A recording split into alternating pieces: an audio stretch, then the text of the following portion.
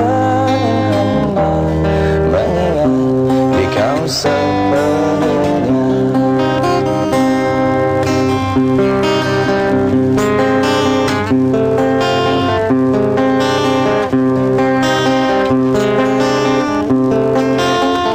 mencari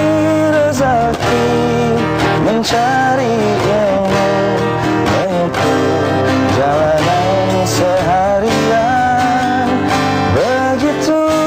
terdengar